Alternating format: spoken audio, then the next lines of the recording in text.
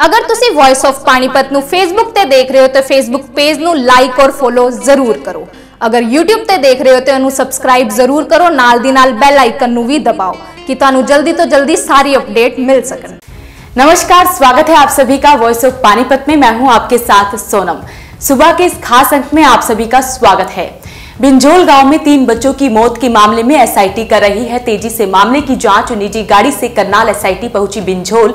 Bleach house से जुटाई सुराग। लाठीचार्ज मामले में भी एसआईटी ने 12 जगहों से हासिल की सीसीटीवी फुटेज बिंझोल से लेकर लघु सचिवालय तक के रूट की भी की बारीकी से छानबीन। शिक्षा को पटरी पर लगाने की तैयारी शुरू। लॉकडाउन के बाद आज से कॉलेज पहुंचेगा स्टाफ।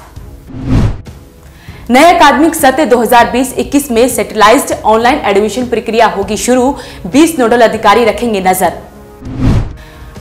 कोर्ट कॉम्प्लेक्स में 10 कर्मियों सहित कल मिले कोरोना के इकहत्तर पॉजिटिव केस 10 दिन कोर्ट बंद रहने के दिए गए आदेश।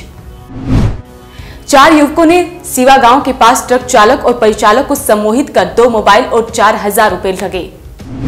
सेई टू प्रभारी वीरेंद्र कुमार ने दी जानकारी। हरि सिंह चौक के पास एक युवक को देसी पिस्तौल सहित किया काबू।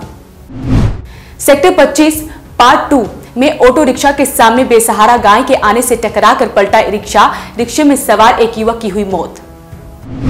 रक्षाबंधन पर्व के दिन बाइक सवार शिक्षक पिता व उसके सात साल के बेटे की सड़क हादसे में हुई मौत। पत्नी हुई गंभीर रूप से घायल। हाईवे पर ट्रक ने कुचला। सिविल अस्पताल को सरकार की ओर से मिले नो वेंटिलेटर, तृतीय तल पर बनेगा आईसीयू। अयोध्या जाते समय टोल प्लाजा पर रुके गीता मनीषी स्वामी ज्ञानानंद। यहाँ सबको रोशनी फाउंडेशन ने दी हनुमान मंदिर की मिट्टी, ज्ञानानंद महाराज ने कहा, हनुमान मंदिर अनेकता में एकता का प्रतीक।